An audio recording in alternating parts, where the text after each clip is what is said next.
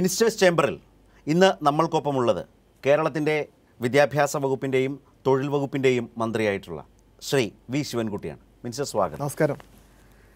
മന്ത്രിയായതിന് ശേഷമുള്ള ഒരു ഒരു തിരക്കുകളിലേക്ക് എല്ലാ മന്ത്രിമാരും പോകുമ്പോഴും എനിക്ക് തോന്നുന്നു വിദ്യാഭ്യാസ മന്ത്രി നമുക്ക് തൊഴിൽ വകുപ്പിലേക്ക് വരാം. അതിനു മുമ്പ് വിദ്യാഭ്യാസ വകുപ്പിലേക്ക് ഒന്ന് ഒന്ന് നോക്കിയാൽ സത്യത്തിൽ ഈ മന്ത്രിമാരിൽ ഏറ്റവും ആദ്യം തിരക്കുകളിലേക്ക് പോയൊരു മന്ത്രിയാണെന്ന് തോന്നുന്നു. കാരണം സ്കൂൾ തുറക്കുന്ന ഒരു സമയത്താണ് സത്യപ്രതിജ്ഞ കഴിഞ്ഞത്. അതുകൊണ്ട് തന്നെ എല്ലാം വേഗത്തിലാക്കണം വേഗത്തിൽ കാര്യങ്ങൾ മനസ്സിലാക്കി എടുത്തു പോകണം. എങ്ങനെയുണ്ടായിരുന്നു ആ കഴിഞ്ഞ ആഴ്ചകൾ?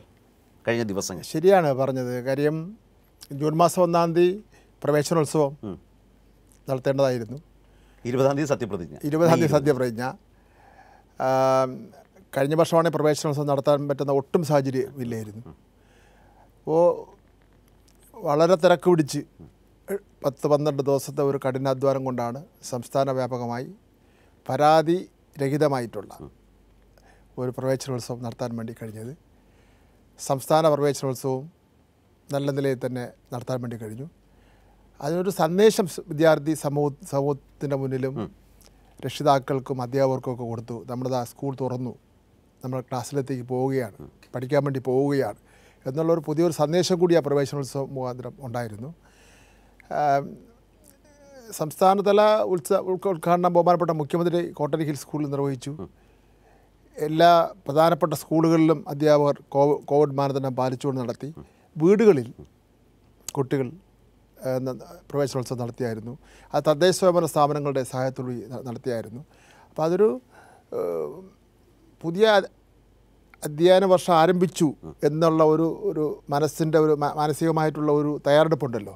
അതിലത്തേക്ക് ഇത് ഉപകരിച്ചിട്ടുണ്ട്. അല്ല ഞാനതാണ് പറഞ്ഞത്. കാരണം ഒരു ടാസ്ക് ഈ മന്ത്രിസഭയിൽ ആദ്യം എടുക്കേണ്ടി വന്ന മന്ത്രിമാരിൽ ഒരാളാണ് താങ്കൾ. കാരണം ഒട്ടും സമയമില്ല. സത്യപ്രതിജ്ഞ ചെയ്ത് അന്ന് തന്നെ തുടങ്ങിയാലേ വെറും പത്ത് ദിവസത്തിനുള്ളിൽ പ്രവേശനോത്സവം നടത്താനാകൂ. അതിന്റെ ഒരു വലിയ പ്രത്യേകത മിനിസ്റ്റർ നോക്കൂ ഈ കുഞ്ഞുങ്ങൾ കഴിഞ്ഞ ഒരു വർഷമായി ഇങ്ങനെ വീടുകളിൽ പൂട്ടിയിട്ട അവസ്ഥയാണ്. അവിടുന്ന് അവർക്ക് മാനസികമായ ഒരു ഉല്ലാസം നൽകാൻ വീടുകളിൽ തന്നെ ആണെങ്കിൽ പോലും വീണ്ടുമെങ്കിൽ പോലും സ്കൂളുകളില്ലെങ്കിൽ പോലും സ്കൂളുകളിലേക്ക് പോകാൻ കഴിയുന്നില്ലെങ്കിലും അവർക്ക് അങ്ങനെ ഒരു ഉന്മേഷം പകരാനുള്ള ഒരു ഒരു ലക്ഷ്യവും ഒരു ശ്രദ്ധയുമാണോ? അങ്ങ് ഒതുക്കിപ്പോകണ്ട നന്നായി തന്നെ നടക്കട്ടെ എന്ന് തീരുമാനിക്കാൻ കാരണം പ്രവേശനോത്സവം. തീർച്ചയായിട്ടും അങ്ങനെ തന്നെയാണ്. കാര്യം സൂചിപ്പിച്ചതുപോലെ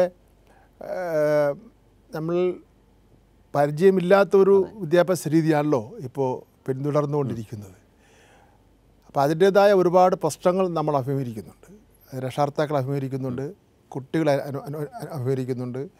മാനസികമായിട്ടുള്ള പല പ്രശ്നങ്ങളും കുട്ടികൾ അഭിമുഖീകരിക്കുന്നുണ്ട്. അത് ഞങ്ങളൊരു ഒരു പഠനം നടത്തിയപ്പോൾ അതിൽ നിന്ന് തന്നെ കണ്ടതാണ് അപ്പോൾ അതൊരു പുതിയൊരു രീതിയാണ് നമ്മുടെ വിദ്യാഭ്യാസ വിദ്യാഭ്യാസ രംഗത്ത് നമ്മളുടെ ഒരു പുതിയ രീതിയാണ്. അപ്പോൾ അതിന്റേതായ രീതിയിൽ കുറവുകളുണ്ടാവാം.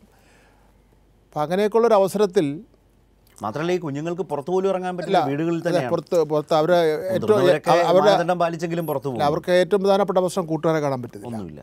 രണ്ട് അധ്യാപകരെ കാണാൻ വേണ്ടി പറ്റുന്നില്ല. കളിസ്ഥലത്ത് നിന്ന് കളിക്കാൻ വേണ്ടി പറ്റുന്നില്ല.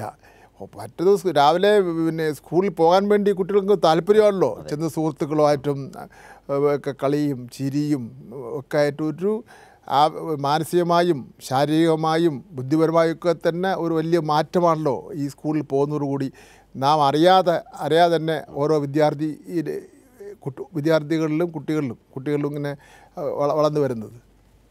തീർച്ചയായും. എനിക്ക് തോന്നുന്നു ഒരു വിദ്യാർത്ഥി യുവജന നേതാവ് S F I D Y F I നേതാവൊക്കെ ആയിരുന്ന വി ശിവൻകുട്ടി മന്ത്രിയാകുമ്പോൾ അത്തരം കുട്ടികളുടെ അവസ്ഥകൾ അതുകൂടി കാണാനും അല്ലെങ്കിൽ അതേക്കുറിച്ച് കൂടുതൽ ശ്രദ്ധിക്കാനും ഉപകാരപ്പെട്ടിട്ടുണ്ടാവും അല്ലേ? തീർച്ചയായിട്ടും. ഞാൻ എസ് എഫ് ഐയുടെ തിരുവനന്തപുരം ജില്ലാ സെക്രട്ടറി പ്രസിഡന്റ് എസ് എഫ് ഐയുടെ സംസ്ഥാന പ്രസിഡന്റ് സെക്രട്ടറി അഖിലേന്ത്യാ ഭാരവാഹി ഒക്കെ തന്നെ ആയി പ്രവർത്തിക്കാൻ എനിക്ക് അവസരം കിട്ടിയിട്ടുണ്ട്. ആ രംഗത്തെ വിദ്യാഭ്യാസ രംഗത്തെ പ്രശ്നങ്ങളല്ല ഈ പ്രാവശ്യം ഇപ്പോൾ ഉള്ള വിദ്യാഭ്യാസ രംഗത്തെ പ്രശ്നങ്ങൾ. അന്ന് വ്യത്യസ്തങ്ങളായ പ്രശ്നങ്ങൾ ഉയർത്തിപ്പിടിച്ചുകൊണ്ടുള്ള പോരാട്ടങ്ങളൊക്കെ തന്നെ നടത്തുന്നതിന് വേണ്ടി കഴിഞ്ഞിട്ടുണ്ട്. ഒരുപാട് വിഷയങ്ങളുണ്ട്. ഇപ്പം പ്രൊഫഷണൽ കോളേജുകളിലെ റാഗിങ് സമ്പ്രദായം അവസാനിപ്പിക്കുന്നതിന് വേണ്ടിയുള്ള വലിയ ശക്തമായ പോരാട്ടം എസ് എഫ് നടത്തിയത് ഞാൻ ഇപ്പോൾ ഓർമ്മിക്കുകയാണ്. ഈ സ്കൂളുകളിൽ ഒന്നാം ക്ലാസ്സിലും രണ്ടാം ക്ലാസ്സിലും വലിയ തോതിൽ കോഴ വാങ്ങുന്ന ഒരു സമ്പ്രദായം ഉണ്ടായിരുന്നു. അതിനെപ്പറ്റി അതിനെതിരായിട്ട് വലിയൊരു സമരം നടത്തി ഞാൻ ഓർ- ഓർമ്മിക്കുകയാണ്. പാഠപുസ്തകം സമയത്തിന് കിട്ടാത്ത പ്രശ്നം. ഫോട്ടോസ്റ്റാറ്റ് എടുത്ത് പോലും കൊടുക്കുന്ന ചില കാലഘട്ടങ്ങളുണ്ടായിരുന്നു. അപ്പോൾ അതെല്ലാം ഒരുപാട് മാറിയല്ലോ മാറി. പിന്നെ ചോർന്ന് ഒലിക്കുന്ന സ്കൂൾ കെട്ടിടങ്ങൾ. അതിന് കേരളം വലിയ ഒരു മാറ്റമല്ലേ ഇപ്രാവശ്യം ഉണ്ടാക്കിയിരിക്കുന്നത്? ഈ ഇന്ത്യയിൽ തന്നെ ഓരോ സംസ്ഥാനങ്ങളിലെടുത്ത ഒരു ഇൻഫ്രാസ്ട്രക്ചർ വിപ്ലവം തന്നെ സ്കൂളുകളിൽ നടത്തിയ ഒരു കാലഘട്ടം ഈ കഴിഞ്ഞ ഇടതുപക്ഷ ജനാധിപത്യ മുന്നണിയുടെ കാലഘട്ടമാണ്. അപ്പോൾ അതെല്ലാം വെച്ച് നോക്കുമ്പോൾ പിന്നെ വ്യത്യ വ്യത്യസ്തങ്ങളായ പ്രശ്നങ്ങളാണ്. അപ്പോൾ അതുകൊണ്ട് നമുക്ക് പെട്ടെന്ന് കുട്ടി എന്താണ് വിദ്യാഭ്യാസ രംഗത്തെ പ്രശ്നങ്ങൾ? ഇപ്പം അത്യന്താധുനിക ശാസ്ത്ര സാങ്കേതിക വിദ്യയിലൂടെ കൂടെ വിദ്യാഭ്യാസം നടക്കുന്ന ഒരു കാലഘട്ടമായതുകൊണ്ട് ഒരുപാട് വ്യത്യാസങ്ങളുണ്ട്. കഴിഞ്ഞ പ്രാവശ്യത്തേക്കാൾ ഒരുപാട് വ്യത്യാസങ്ങൾ ഉണ്ട്. അത് നമ്മളിത് പുതിയ വിദ്യാഭ്യാസ രീതി നമ്മൾ ഒരുപാട് പഠനം നടത്തേണ്ടതായിട്ടുണ്ട് ഹോംവർക്ക് നടത്തേണ്ടതായിട്ടുണ്ട്. പക്ഷേ നമ്മൾ ഊന്നലൊടുക്കേണ്ട ചില മേഖലകളുണ്ട്. അത് അന്നും അങ്ങനെ തന്നെ ഇന്നും അങ്ങനെ തന്നെ. ഒന്ന് എസ് സി എസ് ടി മേഖല. നമ്മൾ തീർച്ചയായിട്ടും ഊന്നൽ കൊടു- കൊടുക്കേണ്ടതാണ്. ഭിന്നശേഷിയുള്ള കുട്ടികളുടെ മേഖല. നമ്മൾ തീർച്ചയായിട്ടും ഊന്നൽ കൊടുക്കേണ്ടതായിട്ടുണ്ട്. അതുപോലെ തന്നെ നമ്മൾ പട്ടിക വർഗ മേഖലയിൽപ്പെട്ട വിദ്യാർത്ഥികളുടെ പിന്നെ പ്രശ്നങ്ങൾ. പിന്നെ സാമൂഹികപരമായി സാമ്പത്തികപരമായി പിന്നോക്കം നിൽക്കുന്ന ഒരുപാട് കുട്ടികളുണ്ട്. രക്ഷാർത്ഥാക്കൾക്ക് ഈ വിദ്യാഭ്യാസ ചിലവ് താങ്ങാൻ കഴിയാത്തതും ഒക്കെ ആയിട്ടുള്ള ഒരു അങ്ങനെ കുട്ടികളുണ്ട്. പിന്നെ വേറൊരു വിഭാഗം വിദ്യാർത്ഥി ഉള്ളതെന്ന് വെച്ചാൽ ഈ ഒരു പഠിക്കാൻ പറ്റുന്ന ഒരു ഒരു ഒരു കുടുംബ അന്തരീക്ഷം ഉണ്ടാവില്ല ആ കുട്ടിക്ക് നന്നായി പഠിക്കുന്ന മിടുക്കനായിരിക്കും അവൻ. പഠിക്കുമ്പോൾ താല്പര്യവും ബുദ്ധി നല്ല ബുദ്ധിയുള്ള കുട്ടിയായിരിക്കും. പക്ഷേ അവനൊരു മനസ്സമാനം ഉണ്ടാവില്ല കുടുംബത്തിന്റെ ഒരു പ്രത്യേക അന്തരീക്ഷത്തിൽ. അന്തരീക്ഷം കാരണം. അപ്പോൾ അത്തരം കുട്ടികൾക്കൊക്കെ തന്നെ നമ്മൾ മുന്തിയ പ്രാധാന്യം കൊടുക്കേണ്ടതായിട്ടുണ്ട്. മറ്റൊരു കാര്യം ഇപ്പോൾ പാഠപുസ്തകം പുതിയ സിലബസ് എന്നൊക്കെ പറഞ്ഞാൽ കുറച്ച് പ്രയാസമേറിയ സിലബസ് എന്നാണല്ലോ പൊതുവിൽ പ്രയാസമുണ്ടല്ലോ. വെച്ചാൽ നമ്മൾ ഒരു ഒരു നാഷണൽ സ്റ്റാൻഡേർഡിലത്തേക്ക് നമ്മുടെ സിലബസ് വരണമല്ലോ. അപ്പോൾ മുമ്പുണ്ടായിരുന്ന ഓരോ വർഷക്കാരും മാറിയിട്ടുണ്ട് മാറി മാറി വരും. അപ്പോൾ ചില വിദ്യാർത്ഥികൾക്ക് സംബന്ധിച്ചിടത്തോളം എല്ലാ വിഷയങ്ങളും ഒരേ രൂപത്തിൽ ഫോളോ ചെയ്യാൻ വേണ്ടി പറ്റില്ല. കുറച്ചുകൂടി ട്രെയിനിങ് വേണ്ടി വരും. ചിലവർക്ക് മാത്തമെറ്റിക്സ് ഒരു പ്രശ്നമായിരിക്കാം. ചിലർക്ക് ഭാഷ ഇപ്പം ഇംഗ്ലീഷോ അതുപോലുള്ള സബ്ജക്റ്റിൽ സബ്ജക്റ്റുകൾ ഒരു പ്രശ്നമായിരിക്കാം. അപ്പോൾ അവർക്കൊക്കെ തന്നെ പ്രത്യേക അത്തരം കുട്ടികളെ ഓരോ സ്കൂളിലും കണ്ടുപിടിച്ച് പ്രത്യേക ട്രെയിനിങ് കൊടുക്കേണ്ട ഒരു ചെറിയ സംവിധാനം ഇപ്പോൾ നിലവിലുണ്ട്. നിലവിലുണ്ട്. അതെല്ലാം ഒന്ന് നമുക്ക് വിപുലീകരിക്കേണ്ടതായി ഇരിക്കുകയാണ്.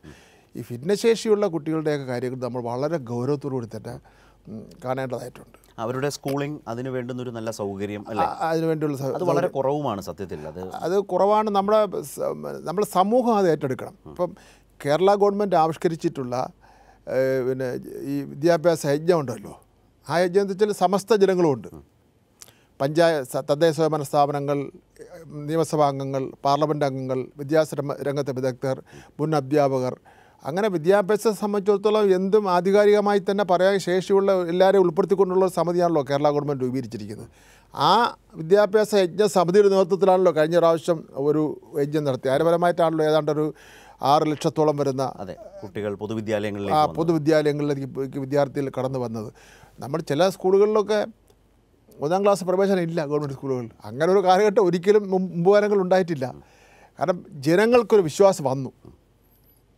ഈ പൊതുവിദ്യാ വിദ്യാഭ്യാസ സ്ഥാപനങ്ങൾ പഠി പഠിപ്പിക്കുന്നതിൽ ഒരു അഭിമാനം നമ്മുടെ സമൂഹത്തിന് തോന്നുന്ന രൂപത്തിലുള്ള ഒരു പ്രവർത്തനം കഴിഞ്ഞ എൽ ഡി എഫ് ഗവൺമെന്റ് കാലഘട്ടത്തിൽ നമുക്ക് നടത്തുന്നതിന് വേണ്ടി കഴിഞ്ഞു എന്നുള്ളതാണ് ഏറ്റവും പ്രധാനപ്പെട്ട ഒരു മാറ്റം. കഴിഞ്ഞ സർക്കാരിന്റെ വലിയ നേട്ടങ്ങളിൽ ഒന്ന് തന്നെയായിരുന്നു. ആ നേട്ടങ്ങളുടെ തുടർച്ചയിലാണ് ആ വകുപ്പ് താങ്കളെ മുഖ്യമന്ത്രി ഏൽപ്പിച്ചിരിക്കുന്നത്. ഞാൻ നേരത്തെ പറഞ്ഞ എസ് എഫ് ഐ കാലം വിദ്യാർത്ഥി യുവജന നേതാവിൽ നിന്ന് പിന്നീട് പൊതുപ്രവർത്തന രംഗത്തേക്ക് മേയറായി അതിനുശേഷം എം എൽ എ ആയി ഒക്കെ വന്ന് ഏറ്റവും ഒടുവിൽ ഇപ്പോൾ കേരളത്തിന്റെ വിദ്യാഭ്യാസ മന്ത്രി എന്ന നിലയിൽ നിൽക്കുമ്പോൾ ഈ പൊതുപ്രവർത്തന യാത്രയിൽ ഒരിക്കലും ചിന്തിച്ചിട്ടില്ലാത്ത തരത്തിലേക്കുള്ളൊരു ഒരു ഉത്തരവാദിത്വമാണോ ഇപ്പോൾ പാർട്ടിയും മുഖ്യമന്ത്രി ഏൽപ്പിച്ചിരിക്കുന്നത്? തീർച്ചയായിട്ടും ബഹുമാനപ്പെട്ട മുഖ്യമന്ത്രിയും പാർട്ടി ഏൽപ്പിച്ചിരിക്കുന്നത് വലിയൊരു ഉത്തരവാദിത്വം തന്നെയാണ്. അത് ആ ഉത്തരവാദിത്വം സത്യസന്ധമായും ആത്മാർത്ഥയോടുകൂടിയും എന്തെല്ലാം പ്രയാസങ്ങളും ബുദ്ധിമുട്ടുണ്ടെങ്കിൽ പോലും അത് നന്നായി തന്നെ നടത്തി വിജയിപ്പിക്കണം ജയിപ്പിക്കും എന്നുള്ള വിശ്വാസമാണ് പാർട്ടിയെ സംബന്ധിച്ചിടത്തോളം ബഹുമാന മുഖ്യമന്ത്രിയെ സംബന്ധിച്ചിടത്തോളം ഉള്ളത്. അത് അവർക്ക് ആ ചിന്തയ്ക്ക് ഒരു കുറവും വരാത്ത രൂപത്തിലുള്ള പ്രവർത്തനം നടത്താൻ സംബന്ധിച്ചിടത്തോളം ഉള്ള പരിശ്രമമാണ് ഞാൻ നടത്തി നടത്താൻ തുടങ്ങിയിട്ടുള്ളത്. ഞാനിപ്പോഴും ഓർമ്മിക്കുകയാണ് ഞാൻ ഉള്ളൂർ പഞ്ചായത്ത് പ്രസിഡന്റായിരുന്നപ്പോൾ ജില്ലയിലെ ഏറ്റവും നല്ല പഞ്ചായത്തായിരുന്നു ഉള്ളൂർ പഞ്ചായത്ത്. അന്ന് എന്റെ പഞ്ചായത്തിൽ ഒരു പൊതു അംഗനവാടി കുട്ടികൾക്കുള്ള ഒരു പ്രീ നഴ്സറി സ്കൂളില്ല അപ്പോൾ ഞാൻ പഞ്ചായത്തിന്റെ ഫണ്ട് ഉപയോഗിച്ചുകൊണ്ട് ഈ പ്രശാന്ത നഗർ എന്ന് പറയുന്ന പ്രദേശത്ത് പുനരക്കോട്ടയ്ക്ക് സമീപം ഒരു പ്രീ പ്രൈമറി സ്കൂൾ കിട്ടിയവിടെ അപ്പോൾ ആ നാട്ടിലെ ആൾക്കാർക്ക് വലിയ സന്തോഷമായിരുന്നു. കുട്ടികളെ ഈ പ്രീ പ്രൈമറി സ്കൂളിൽ കൊണ്ട് ഇവിടെ അവിടെ ഒരു ടീച്ചറിനും ആയയൊക്കെ തന്നെ നിയമിക്കാൻ വേണ്ടി കഴിഞ്ഞു. അതിനുശേഷം ഞാൻ മേയറായിരുന്ന അവസരത്തിൽ ബഹുമാനപ്പെട്ട നയനാർ ആയിരുന്നു അന്ന് കേരളത്തിലെ മുഖ്യമന്ത്രി. തൊണ്ണൂറ്റഞ്ച് രണ്ടായിരം കാലഘട്ടത്തിൽ. അന്ന് ഇപ്പോഴാണല്ലോ ഇപ്പോൾ ഉച്ച ഭക്ഷണവും ഭക്ഷണം ഭക്ഷണവും രാവിലെയുള്ള ബ്രേക്ക്ഫാസ്റ്റും ഒക്കെ ഈ വന്നിട്ട് ഈ പൊതു പൊതു വിദ്യാഭ്യാസ യജ്ഞത്തിന്റെ ഭാഗമായിട്ടാണല്ലോ ശക്തിപ്പെട്ട് വന്നത്. അന്ന് ഇതൊന്നും ഇല്ലായിരുന്നല്ലോ ഇല്ല ഇല്ലായിരുന്നല്ലോ. ഉച്ച ഉച്ച ഉച്ചഭക്ഷണമൊക്കെ ഒരു വളരെ ഉണ്ടായിരുന്നു ഉണ്ടായിരുന്നു ഉച്ചഭക്ഷണം. അത്ര ഇത്രയും വിപുലമായിട്ടുള്ള നിലയിൽ ഇല്ലായിരുന്നു. അന്ന് തിരുവനന്തപുരം കോർപ്പറേഷനിൽ ഏഴാം ക്ലാസ് വരെയുള്ള എയ്ഡഡ് ഗവൺമെന്റ് സ്കൂളുകൾ ഈ വിദ്യാ വിദ്യാഭ്യാസ സ്ഥാപനത്തിൽ പഠിക്കുന്ന മുഴുവൻ കുട്ടികൾക്കും സൗജന്യമായി ഓരോ ക്ലാസ് പാൽ വിതരണം ചെയ്തു. അത് ബഹുമാനപ്പെട്ട നയനാറാണ് ഉദ്ഘാടനം ചെയ്തത്. അന്ന് പി ജെ ജോസഫായിരുന്നു വിദ്യാഭ്യാസ മന്ത്രി. ബഹുമാനപ്പെട്ട നയനാർ അദ്ദേഹം മരിക്കുന്നവരെ എവിടെ പ്രസംഗിച്ചാലും ഈ കാര്യം പറയായിരുന്നു അദ്ദേഹത്തിന് കുട്ടികളോടൊക്കെ വലിയ വാത്സല്യ വാത്സല്യമാണല്ലോ. ഇവിടെ ഞാൻ തിരുവനന്തപുരം പിന്നെ നേമത്തെ ആദ്യ എം എൽ എ ആയ അവസരത്തിലാണ് ഈ നെടുങ്കാട് സ്കൂളിൽ നെടുങ്കാട് സ്കൂളിൽ തിരുവനന്തപുരം നെടുങ്കാട് സ്കൂളാണ് ഒരു സ്വിമ്മിംഗ് പൂൾ നിർമ്മിച്ചത് സ്കൂളിനകത്ത് സ്കൂൾ കോമ്പൗണ്ടിനകത്ത്. ഇവിടുത്തെ ഇവിടെ ഉള്ള സ്വിമ്മിംഗ് പൂളിലൊക്കെ നീന്തൽ നീന്തൽ പഠിക്കുന്നതിന് വേണ്ടി നമ്മൾ സാധാരണക്കാരൻ കുട്ടികൾക്ക് പോകാൻ പ്രയാസമാണ്. കാരണം അത്രമാത്രം ഫീസൊക്കെ അവർ ഈടാക്കുകയാണ്. ഇപ്പോഴും ഏറ്റവും നല്ല ഒരു സ്വിമ്മിംഗ് പൂൾ അവിടെ ചെന്ന് നോക്കിയാൽ മതി. Nirankad Nedunkad U P school അവിടെ ഏഴാം ക്ലാസ് വരെ ഉള്ള അവിടെ ഉണ്ട്. അത് ഫയർഫോഴ്സ് നടത്തിപ്പ് ഏൽപ്പിച്ചു. കാരണം നമ്മൾ വേറെ കമ്മിറ്റിയൊക്കെ ആയാൽ അത്. അത് ശരിയായിട്ട് നടന്നു പോകില്ല വെള്ളമൊക്കെ മാറ്റുന്നതിന്റെയൊക്കെ പ്രശ്നമൊക്കെ ഉള്ളതുകൊണ്ട് ഫയർഫോഴ്സിനെ ഏൽപ്പിച്ചു. അത് നന്നായി ഇപ്പോൾ നടന്ന് പിന്നെ പോവുകയാണ്. അത് നമ്മുടെ തിരുവനന്തപുരം നഗരത്തിലുള്ള കുട്ടികൾക്കെല്ലാം വന്ന് അവിടെ രക്ഷകർത്താക്കൾക്കും ചില ഒരു ചെറിയ ടൈം നിശ്ചയി നിശ്ചയിച്ചിട്ടുണ്ട്. നമുക്ക് മറ്റൊരു മേഖല ശ്രദ്ധിക്കേണ്ട ഒരു പ്രധാനപ്പെട്ട ഒരു മേഖലയാണ് സ്പോർട്സ് സ്കൂളുകൾ. ഞാൻ ഞാനത് ആലോചിച്ച ഒരു സ്പോർട്സ് അതെ ഞാൻ എം എൽ എ നമ്മുടെ ഇവിടെ സ്പോർട്സ് സ്കൂൾ ഉണ്ടല്ലോ നമ്മുടെ ഞാൻ എം എൽ എ ആയിരുന്നപ്പോൾ അവിടുത്തെ ചില പ്രശ്നങ്ങൾ പ്രശ്നങ്ങൾ എന്റെ ശ്രദ്ധയപ്പെട്ട അവിടെ സന്ദർശിക്കാനൊക്കെ പോയിട്ടുണ്ട്. അവിടെ സ്പോർട്സ് സ്കൂളിൽ നമുക്ക് യഥാർത്ഥത്തിൽ കൂടുതൽ സ്പോർട്സ് സ്കൂ- സ്കൂളുകൾ ആവശ്യമാണ്. കുട്ടികളുടെ ആ സ്കൂളിൽ പഠിക്കുന്ന കുട്ടികളുടെ ഭക്ഷണം നമുക്ക് സ്പോർട്സ്മാൻ എന്നുള്ള നിലയിൽ തന്നെ നൽകാൻ എന്ന് നമുക്ക് ഉറപ്പ് വരുത്തേണ്ടതായിട്ടുണ്ട്. നല്ല കോച്ചസിന് കൊടുക്കേണ്ടതായിട്ടുണ്ട്. നല്ല വിദ്യാഭ്യാസം. നല്ല വിദ്യാഭ്യാസം കൊടുക്കേണ്ടതായിട്ടുണ്ട്. പരിശീലനം നടത്തുന്നതിന് വേണ്ടിയുള്ള ഒരു അന്തരീക്ഷം ഉണ്ടാകേണ്ടതായിട്ടുണ്ട്. എങ്കിൽ മാത്രമേ നമുക്ക് കായിക രംഗത്തൊരു പുരോഗതി ഉണ്ടാക്കിയെടുക്കുന്നതിന് വേണ്ടി പിന്നെ കഴിയുകയുള്ളൂ. അപ്പോൾ ഇതിപ്പോൾ കുറേ കുട്ടികളെ സ്പോർട്സ് സ്കൂളിൽ ചേർക്കുന്നു. അവിടെ കുറേ ആൾക്കാരെ ഏൽപ്പിച്ചിരിക്കുന്നു. അവരെ നടത്തിക്കൊണ്ടിരിക്കുന്നു. അതിന്റെ റിസൾട്ട് എന്താണെന്നുള്ളവരും പരിശോധിക്കുന്നില്ല. അതിലൊരു പിടി പിടിക്കും അല്ലേ? അല്ല നമുക്കതിൽ വേണ്ട വേണ്ട രീതിയിലുള്ള നമുക്കത് കേരളത്തിൽ ഉള്ള എല്ലാ സ്പോർട്സ് സ്കൂളുകളുടെ ഇന്നത്തെ സ്ഥിതിയിൽ നമുക്കൊരു മാറ്റം വരുത്തേണ്ടതായിട്ടുണ്ട്. അത് ആ രംഗത്ത് പ്രവർത്തിക്കുന്നവരുമായി ഇപ്പോൾ മന്ത്രി വന്ന ഉടനെ തന്നെ അങ്ങ് അതിന്റെ ഇന്നലെ വരെ ഉണ്ടായിരുന്ന സംവിധാനത്തെ മാറ്റണം എന്നുള്ള നിലയിലല്ല ഞാൻ അഭിപ്രായം പറയുന്നത്. ആ രംഗത്തുള്ള ആൾക്കാരോടായിട്ടും കൂടെ ചർച്ച കൂടിയാലോചിച്ചും. വിദ്യാർത്ഥികളുടെയും സ്പോർട്സ് രംഗത്തെ അധ്യാപകരുടെയും ഒക്കെ തന്നെ കൂടിയാലോചിച്ച് എല്ലാ കാര്യങ്ങളും നമുക്കൊരു കൂടിയാലോചനയിലൂടെ കാര്യം നടത്തിക്കൊണ്ട് പോയാൽ മാത്രമേ വിജയിക്കുകയുള്ളൂ. അതല്ല നമുക്ക് ഒറ്റയ്ക്ക് മാത്രം ഒരു കാര്യം ചെയ്യാൻ വേണ്ടി പറ്റില്ല. ഇതൊരു കൂട്ടായ്മയാണല്ലോ. ഗവൺമെന്റ് ഗവൺമെന്റ് ആണല്ലോ ചെയ്യുന്നത്. ഈ വിദ്യാഭ്യാസ വകുപ്പാണെങ്കിലും മറ്റ് വകുപ്പിന്റെ സഹായം എല്ലാം മുന്നോട്ട് പോകാൻ വേണ്ടി പറ്റില്ല. പി ഡബ്ല്യു വകുപ്പിന്റെ സഹായം നിർബന്ധമായിട്ട് വേണം. തദ്ദേശ സേവന വകുപ്പിന്റെ സഹായം നിർബന്ധമായിട്ട് വേണ്ടിയിരിക്കുന്നു. ആരോഗ്യ വകുപ്പിന്റെ സഹായം നിർബന്ധമായി വേണ്ടിയിരിക്കുന്നു. അങ്ങനെ ബഹുമാന മുഖ്യമന്ത്രി മുഖ്യമന്ത്രിയുടെ നല്ല സഹായം. അത് ആ മിഷനും ഉണ്ട്. ആ അതെ. മുഖ്യമന്ത്രിക്ക് തന്നെ ആ കാഴ്ചപ്പാടുണ്ട്. ഏത് വിദ്യാഭ്യാസ രംഗത്തെ കാര്യം ചെന്ന് ഇപ്പം ഞാൻ രണ്ടോ മൂന്നോ പ്രാവശ്യം ചെന്ന് അദ്ദേഹത്തിനെ കണ്ടു. കണ്ട അവസരത്തിലൊക്കെ തന്നെ വളരെ ഗൗരവത്തോടു കൂടിയാണ് ഏഹ് കേ- കേ- കേൾക്കുന്നത്. നമ്മൾ വിചാരിക്കുന്ന രൂപത്തിലല്ല എത്രയോ അതിനപ്പുറം ഗൗരവത്തോടു കൂടിയാണ് ആ കാര്യം കേൾക്കുകയും സഡൻ ആക്ഷൻ അതായത് മന്ത്രിയാകുന്നതിന് മുമ്പ് ശ്രീ വി ശിവൻകുട്ടി കരുതി കരുതിയിരുന്നതിനും അപ്പുറമുള്ള ഗൗരവത്തിലാണ് മുഖ്യമന്ത്രി കാര്യങ്ങളെ കാണുന്നത് അല്ലേ? വളരെ ഗൗരവത്തോടുകൂടിയാണ് ഇന്ന് കാണുന്നത്. ഞാനിപ്പോൾ പ്ലസ് ടു പരീക്ഷയുടെ കാര്യം സംസാരിക്കാൻ വേണ്ടി പോയിരുന്നു. അതുപോലെ എല്ലാ സംസ്ഥാനങ്ങളുടെയും വിദ്യാഭ്യാസ മന്ത്രിമാരുടെ ഒരു യോഗം കേന്ദ്രമന്ത്രി വിളിച്ചു കൂട്ടിയിരുന്നു അപ്പോൾ അതിലെന്താ നിലപാട് സ്വീകരിക്കേണ്ട സംബന്ധിച്ചിടത്തോളം സംസാരിക്കാൻ വേണ്ടി പോയിരുന്നു. അതുപോലെ തന്നെ- തന്നെ ഈ അൺഎയ്ഡഡ് സ്കൂളുകളിലുണ്ടല്ലോ. അൺഎയ്ഡഡ് സ്കൂളിൽ എല്ലാം എന്ന് പറയുന്നില്ല. ചില സ്കൂളുകൾ സ്കൂളുകളിൽ കുട്ടികൾക്ക് ടി സി കൊടുക്കാത്തതും അമിതമായി ഫീസ് വാങ്ങുന്ന ഒക്കെ ഉള്ള ചില പ്രശ്നങ്ങൾ ഗവൺമെന്റ് ശ്രദ്ധയിൽ പെട്ടിട്ടുണ്ട്. അൺഎയ്ഡഡ് അൺഎയ്ഡഡ് സ്കൂളുകൾ നൽകുന്ന വിദ്യാഭ്യാസ രംഗത്ത് നൽകുന്ന സംഭാവനയെ നമ്മൾ തള്ളിക്കളയുന്നില്ല. അവർക്ക് നല്ല സംഭാവന ചെയ്യുന്നുണ്ട് നന്നായി പ്രവർത്തിക്കുന്ന സ്കൂളുകളൊക്കെ ഉണ്ട്. പക്ഷേ ഈ കോവിഡ് കാലഘട്ടത്തിന്റെ ഒരു മാനദണ്ഡം വേണമല്ലോ ഫീസിന്റെയും ഫീസിന്റെ കാര്യത്തിൽ നൽകാത്ത സർവീസിന് ഫീസ് വാങ്ങുന്ന ഒരു ഏർപ്പാട്. അപ്പോൾ നൽകാത്ത സർവീസിന് ഫീസ് വാങ്ങുകയും ആ ഫീസ് അടയ്ക്കാൻ നിവർത്തിയില്ലെന്ന് പറഞ്ഞു കഴിഞ്ഞാൽ ടി സി കൊടുക്കാതിരിക്കുകയും ചെയ്താൽ അതൊരു നമുക്ക് ഒരു സമൂഹം അത് അംഗീകരിക്കുന്ന അങ്ങനത്തെ വിഷയങ്ങൾ മുമ്പിൽ വന്നോ? നമ്മൾ പറഞ്ഞു വന്നത് മുഖ്യമന്ത്രിയോട് അത് സംസാരിച്ചിട്ടുണ്ട്. ആ വിഷയം ബഹുമാനപ്പെട്ട മുഖ്യമന്ത്രിയോട് സംസാരിച്ചിട്ടുണ്ട്. മുഖ്യമന്ത്രി അക്കാര്യത്തിൽ ഒരു ഏഹ്, പൊതു പ്രസ്താവന നടത്തുമെന്നാണ് ഞാൻ പ്രതീക്ഷിക്കുന്നത്. അതെ. ഏതായാലും അത്തരം കാര്യങ്ങളിൽ വിദ്യാഭ്യാസ മന്ത്രി എന്ന നിലയിൽ ഇടപെട്ട് തുടങ്ങി നേരത്തെ വളരെ യാദൃശ്ചികമായിട്ടാണെങ്കിലും പഞ്ചായത്ത് പ്രസിഡന്റ് ആയ കാലത്തും മേയറായ കാലത്തും എം എൽ എ ആയ കാലത്തും ഒക്കെ വിദ്യാഭ്യാസ രംഗത്ത് തുടങ്ങി വെക്കാനും ചെയ്യാനും കഴിഞ്ഞ കാര്യങ്ങൾ പറഞ്ഞു. ഒരിക്കലും പ്രതീക്ഷിക്കാത്ത വിധം യാദൃച്ഛികമായി പിന്നീട് വിദ്യാഭ്യാസ മന്ത്രി ആവുകയും ചെയ്യുന്നു. ഞാൻ ഈ പറഞ്ഞ വിദ്യാർത്ഥി യുവജന നേതാവൊക്കെ നിൽക്കുന്നൊരു വി. ശിവൻകുട്ടിയുണ്ട്. വളരെ അഗ്രസീവായിട്ടുള്ള ആളിൽ നിന്ന് വളരെ ഇരുത്തം വന്ന വളരെ കരുതലോടെ പക്വതയോടെ വളരെ ക്ഷമയോടെ കാര്യങ്ങളെ കൈകാര്യം ചെയ്യാൻ ഉറച്ചൊരു വിദ്യാഭ്യാസ മന്ത്രിയാണോ ഞാൻ കാണുന്നത്? തീർച്ചയായിട്ടും നമ്മൾ ഓരോ ഉത്തരവാദിത്തങ്ങൾ വഹിക്കുമ്പോൾ അതിന്റേതായ പിന്നെ പ്രത്യേകതയുണ്ടല്ലോ ആ. ഓരോ സ്ഥാനങ്ങൾക്ക് അപ്പോൾ ആ ഉത്തരവാദിത്തങ്ങൾ വഹിക്കുമ്പോൾ ആ ഉത്തരവാദിത്തത്തിന് പറ്റിയ പക്വതയും പിന്നെ പ്രവർത്തന ശൈലിയാണ് നമ്മൾ സ്വീകരിക്കേണ്ടി വരുന്നത്. വിദ്യാർത്ഥി നേതാവൊക്കെ ആയിട്ട് പത്ത് മുപ്പത് വർഷങ്ങൾക്ക് മുമ്പേ അല്ലേ? അതെ. നമ്മൾ പ്രായം കുറേ വ്യത്യാസമായി വന്നില്ലേ? അപ്പോൾ സ്വാഭാവികമായിട്ട് പ്രായത്തെ പ്രായത്തെക്കുറിച്ച് ഏതാണ്ട് ഇപ്പോഴാണ് ചിന്തിച്ചു തുടങ്ങിയത്.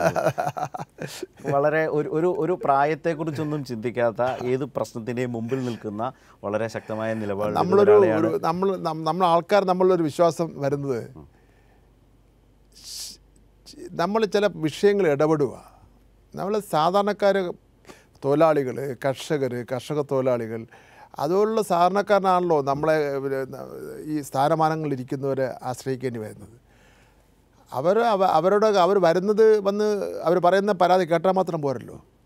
ആ പരാതിക്ക് നമ്മുടെ പരിമിതിക്കുള്ളിൽ നിന്നുകൊണ്ട് പരിഹാരം കാണുന്നതിന് വേണ്ടിയുള്ള പരിശ്രമം കൂടി നടത്തണമല്ലോ. അപ്പോഴല്ലേ അവർക്ക് നമ്മളിലൊരു വിശ്വാസം ഉണ്ടാവുള്ളൂ. അപ്പോൾ അങ്ങനെ ആ പ്രവർത്തനം നടത്തണമെന്ന് വിശ്വസിക്കുന്ന വ്യക്തിയാണ്. അപ്പോൾ അത് വ്യക്തിപരമായിട്ടുള്ള നിലപാടല്ല. കമ്മ്യൂണിസ്റ്റുകാരുടെ എല്ലാ നിലപാടും അങ്ങനെ തന്നെയാണ്. സി പി എം പ്രവർത്തകരെ സംബന്ധിച്ചിടത്തോളം ഇപ്പോൾ അഞ്ച് വർഷക്കാലം എം എൽ എ അല്ലായിരുന്നു. നമ്മൾ ഇവിടുന്ന് ഒളിച്ചോടി പോയിട്ടൊന്നുമില്ലല്ലോ. ഒളിച്ചോടിയിട്ടില്ലെന്ന് മാത്രമല്ല അവിടെ ഏറ്റവും കൂടുതൽ പറയുന്നത് നിയമത്തെ തോറ്റിട്ടും അവിടെ ജനങ്ങൾക്ക് അവിടെ അത് മാത്രമല്ല സി ഐ ടിയുടെ ജില്ലാ സെക്രട്ടറി സംസ്ഥാന സെക്രട്ടറി എന്നുള്ള നിലയിൽ വളരെ സജീവമായി തൊഴിലാളി രംഗത്ത് സജീവമായ പ്രവർത്തനം ഉണ്ടായിരുന്നു. പാർട്ടി അന്ന് ചുമതലപ്പെടുത്തിയ ആ ഉത്തരവാദിത്വം. അതിന്റെ അതേപോലെ തന്നെ പാർട്ടി ഇന്ന് ചുമതലപ്പെടുത്തിയിരിക്കുന്നത് ഈ ഗവൺമെന്റിന്റെ ഉത്തരവാദിത്വം. ഒരു ഘട്ടത്തിൽ പഞ്ചായത്ത് പ്രസിഡന്റ് ഉത്തരവാദിത്വം ചുമതല- ചുമതലപ്പെടുത്തി. അത് കഴിഞ്ഞിട്ട് കുറച്ച് ദിവസം പാർട്ടിയുടെ ചുമതലപ്പെടുത്തി. വീണ്ടും മേയറുടെ ഉത്തരവാദിത്തം വന്നു. അപ്പം ഞങ്ങൾ കമ്മ്യൂണിസ്റ്റുകാരെ സംബന്ധിച്ചിടത്തോളം ഈ പാർട്ടി ഉത്തരവാദിത്തമായിരുന്നാലും ഈ ജനാധിപത്യ വേദികളുടെ ഉത്തരവാദിത്തമായിരുന്നാലും അത് രണ്ടും ജനങ്ങളുടെ താല്പര്യങ്ങളും സംരക്ഷിക്കുന്നതിന് വേണ്ടിയുള്ള വേദികളായിട്ടാണ് ഞങ്ങൾ പ്രയോജനപ്പെടുത്തുന്നത്.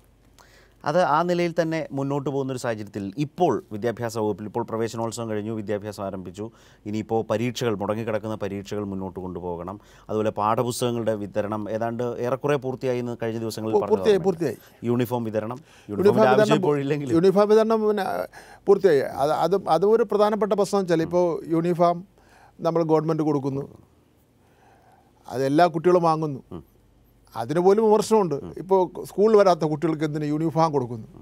അത് നമ്മൾ ആദ്യം പറയുന്നത് ഒരു സന്തോഷമാണ് കുട്ടികൾക്ക്. കുട്ടികൾക്ക് ഒരു സന്തോഷമാണ്. അതിനും വിമർശനം പറ- പറയാനുള്ള പറയുന്നുണ്ട് എന്നുള്ളതാണ് ഏറ്റവും പ്രധാനപ്പെട്ട പ്രശ്നം. ആ വിമർശനങ്ങളെയൊക്കെ മന്ത്രി എങ്ങനെയാണ് കാണുക? അല്ലെങ്കിൽ എങ്ങനെയാവും ഇനി കാണുക? നമുക്ക് അങ്ങനെയുള്ള വിമർശനങ്ങളുടെ പുറകെ പോയി കഴിഞ്ഞാൽ ഒരു കാര്യം നമുക്ക് ചെയ്യാൻ വേണ്ടി പറ്റില്ല. വിമർശനം നടത്തുന്നവർ അത് അവർ അടിസ്ഥാനരഹിതമായിട്ടുള്ളതും കാര്യങ്ങൾ മനസ്സിലാക്കാതെയും അവർക്ക് കിട്ടിയിട്ടുള്ള വിവരങ്ങളുടെ അടിസ്ഥാനത്തിൽ ഉള്ള വിമർശനങ്ങളും കളിയാക്കലും ഒക്കെ നടക്കുന്നുണ്ട്. അത് അത് അത്തരം കാര്യങ്ങൾ അവർ ചെയ്താൽ അവർക്കൊരു ആത്മസംതൃപ്തി കിട്ടുമെങ്കിൽ അത് കിട്ടിക്കോട്ടെ. നമ്മൾ അവർ അവർക്ക് ഒന്നിനും എതിരല്ല. സന്തോഷപൂർവം അല്ല സ്വീകരിക്കുക.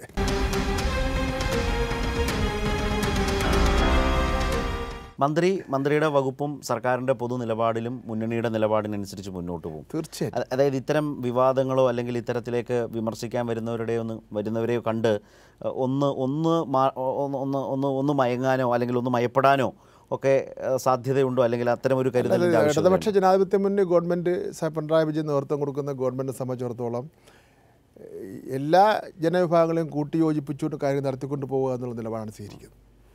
പ്രതിപക്ഷത്തെയും പിന്നെ ഈ വികസന പ്രക്രിയയിൽ പങ്കാളികളാക്കുന്നതിന് വേണ്ടിയുള്ള ഒരു നിലപാട് സ്വീകരിക്കണമെന്നുള്ള നയമാണ് അദ്ദേഹം സ്വീകരിച്ചിരിക്കുന്നത്. അതുകൊണ്ടാണല്ലോ നമ്മുടെ കേരളത്തിൽ കേരളത്തിന്റെ ചരിത്രം ഐക്യകേരള രൂപീകരണത്തിന് ശേഷം ചരിത്രം സൃഷ്ടിച്ചുകൊണ്ടല്ലേ ഒരു തുടർ ഗവൺമെന്റ് വന്നത്? മന്ത്രി എന്ന നിലയിലാണ് ഇപ്പോഴത്തെ കൂടുതൽ ശ്രദ്ധ അല്ലേ?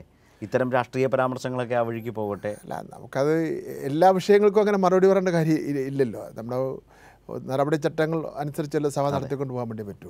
തിരുവനന്തപുരം ജില്ലയിൽ അത്ര പോലും വികസനമില്ലാത്ത കാസർഗോഡ് ജില്ലയിലും വയനാട് ജില്ലയും അതേപോലെ തന്നെ ഇടുക്കിയിലെ ചില പ്രദേശങ്ങളും ഒക്കെ തന്നെ ഉണ്ടല്ലോ. അവിടെയൊക്കെ നമുക്ക് നല്ല വികസന പ്രവർത്തനം കൊണ്ടുവരേണ്ടതായിട്ടുണ്ട്.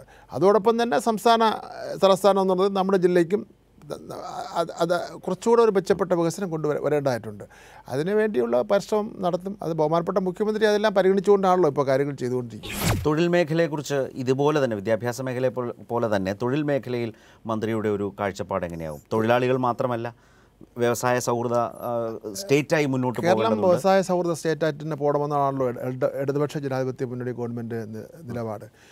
മുൻപ് എന്തൊരു വിമർശനമായിരുന്നു കേരളത്തെപ്പറ്റി? എത്ര കാർട്ടൂണുകളാണ് പിന്നെ പത്രത്തിൽ വന്നിട്ടുള്ള ചോട്ടുതൊഴിലാളികളെ എല്ലാം ആക്ഷേപിച്ചുകൊണ്ട്. ഇന്നിപ്പോൾ ഇന്ത്യയിൽ ഒരു ബുദ്ധിമുട്ടുമില്ലാതെ വന്ന് ഒരു വ്യവസായം തുടങ്ങുന്നതിന് വേണ്ടിയുള്ള എല്ലാ അന്തരീക്ഷവും ഉള്ള ഒരു സംസ്ഥാനമാണ് കേരളമായി മാറിയിരിക്കുകയാണ്.